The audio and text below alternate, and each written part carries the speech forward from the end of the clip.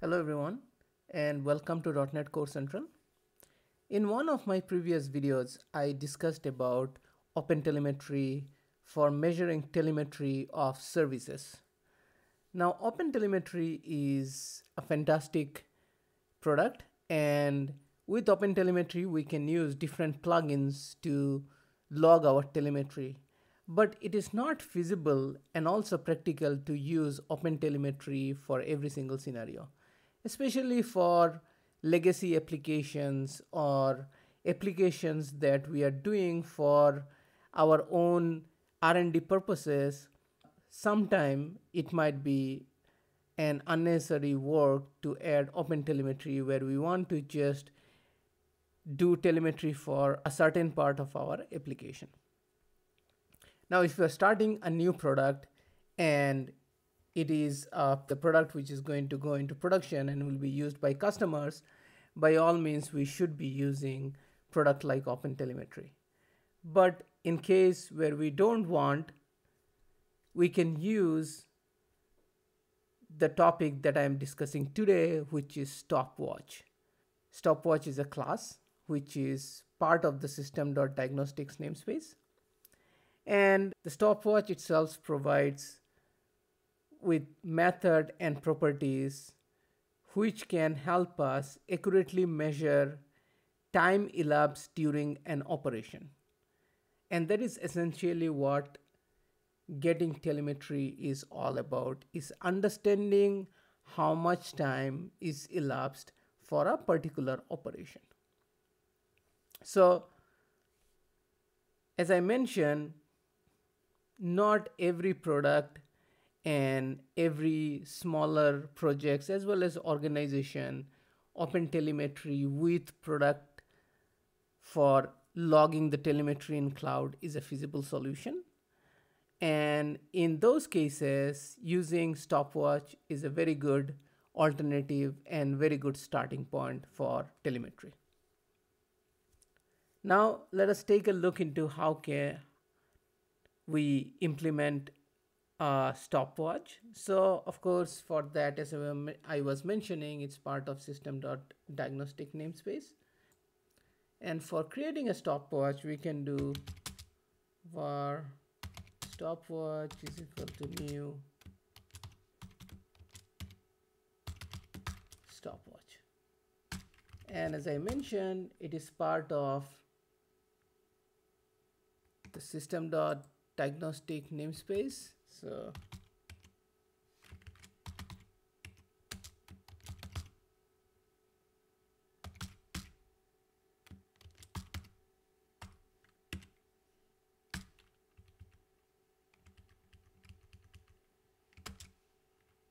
Now, when we create a new stopwatch object, we're just creating the object.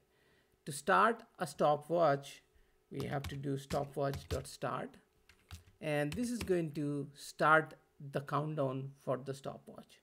And then here we can have some operations.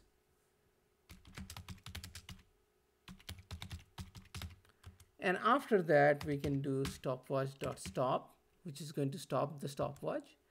And then we can say our time taken is equal to stopwatch dot so stopwatch.elapsed is a time span which we can take or we can use couple of other variables. So there is one called stopwatch.elapsed ticks which gets the total elapsed time measured by the current instance in the timer ticks. So it gives the ticks value or we can use the stopwatch dot elapsed millisecond which gets the total elapsed time of the current instance in millisecond. So I'm just going to go ahead and use the milliseconds. But right now we do not have any operations here. So let's add an operation. So what I did is for that purpose, I created a class called item provider and item provider class currently has a single method called get and it just returns an empty string. So what I'm going to do here is I'm going to add a wait statement and I'm going to say task delay and I'm going to delay for 5 seconds. This is, I'm doing this to mimic an operation. This operation can be calling out to an external HTTP service or going into some sort of data store to get the data. I'm just mimicking the time taken by a task dot delay. Now let me also change the name of this method from get to get async just to keep the standard naming convention for asynchronous methods. Now once I do that, what I can do is I can here after I create the stopwatch, I can use var and item provider is equal to new item provider. And then here I can say item provider dot get async and which is going to give a response so I can just do await since I'm returning a string.empty I'm not even going to bother to do anything with that data. So next what we can do is we can just take this millisecond and we can do console.writeLine and we can say time taken in millisecond is and we can say time taken. It's a very simple example. And uh, this is going to use in an essence the main feature of a stopwatch which is the elapsed time. And we're using elapsed millisecond which is elapsed time in a millisecond. And that is what we are going to log in our telemetry. So I'm going to run this application now and then we'll go and check some of the other features of stopwatch which are very useful. So once the application stops running, you can see the time taken is 5 seconds, 5049 milliseconds, which is 5 seconds and 49 milliseconds. 5 seconds is the wait time that we created. So now if we go here and if we do something else, we have this class called user provider, which is from a different example and it's for a different purpose, but it is doing some console.writeLine on a search user and doing stuff here, which is used in some other example. So I'm going to repurpose this code. And what I'm going to do is I'm going to change this to async task and here what I'm going to do is I'm going to have await task dot delay and I'm going to add let's keep 100 milliseconds. That's fair enough. And then what I can do is this is the user provider class.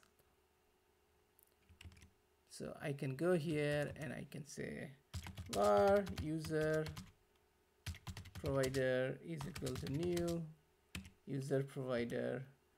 And then I can do again stopwatch dot start. And I can do user provider dot search user.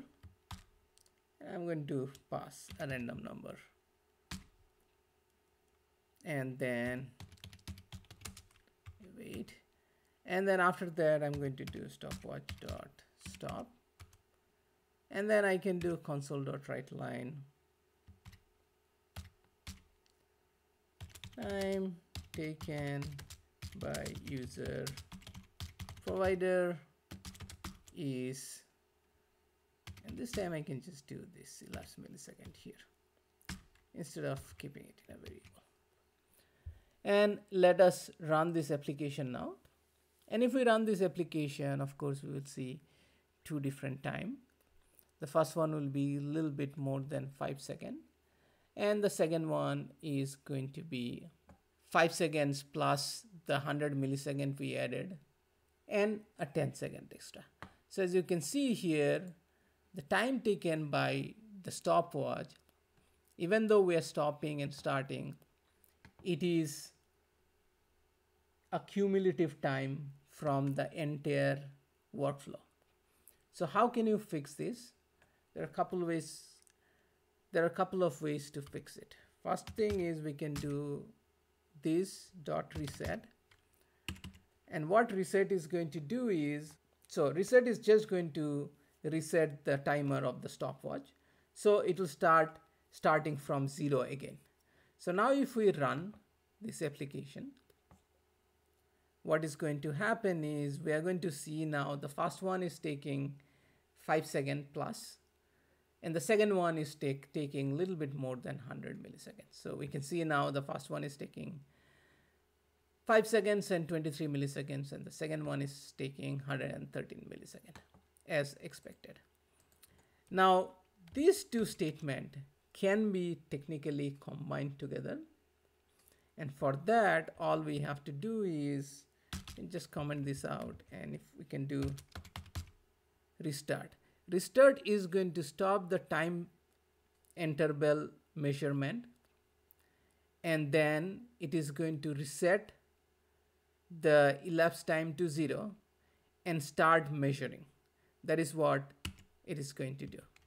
So now if we run this application, what is going to happen is we are going to see the exact same behavior of 5 second and a change millisecond for the second one, for, for the first one, and the second one is 100 plus millisecond as expected.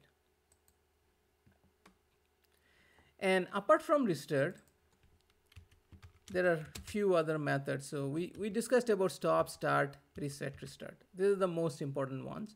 We also discussed about elapsed, elapsed millisecond, elapsed ticks. One thing is is running. Is running is a boolean method which is going to show if the timer is running. So if you use it in between the start and stop, it is going to be true. And if it is after stop or before start, it is going to be false.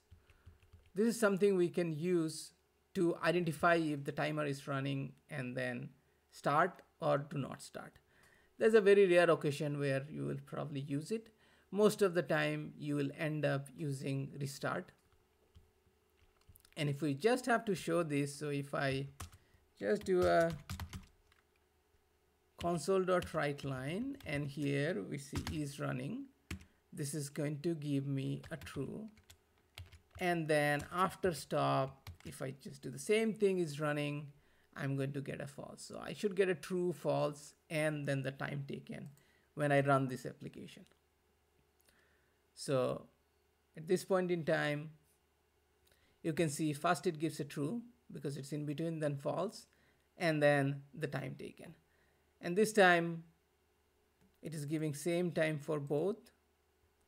It is because we got rid of the restart as well as reset. So of course, it is just giving so it has never started neither it reset so it is just showing the same time as before the time has never changed so that's another thing if you don't start after stopping the timer if you don't explicitly start it is not going to continue cumulatively counting the number and if you do not reset then it is not going to give you the appropriate number just for this operation.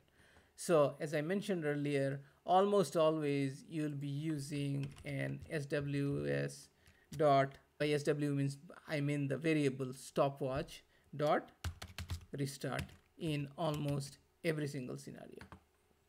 So now if I run it back, I'll see true false and the time taken in milliseconds will start making sense it will be 5 millisecond plus and 100 5 second plus and 100 millisecond plus as expected